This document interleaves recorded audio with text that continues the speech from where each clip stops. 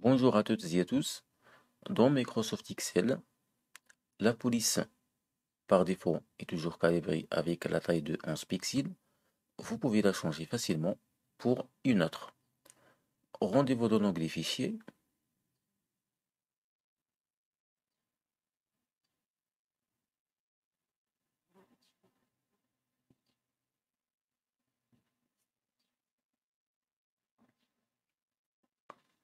Ensuite, dans le volet qui s'affiche, cliquez sur Options.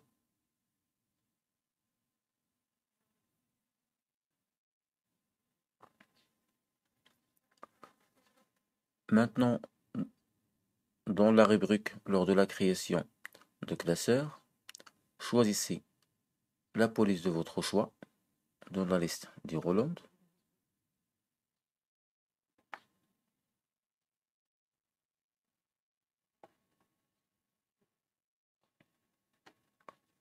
Et définissez la taille de la police par défaut. Validez ensuite par OK. Maintenant, redémarrez Microsoft Excel.